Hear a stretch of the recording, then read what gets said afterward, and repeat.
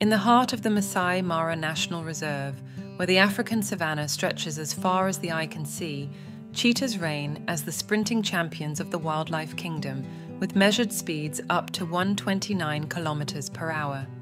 Cheetahs, with their sleek bodies and black spots, thrive in this vast expanse, alertly watching for signs of prey.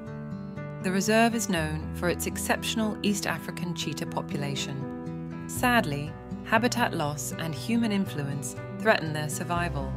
Hence, conservation efforts are crucial to protecting these incredible animals.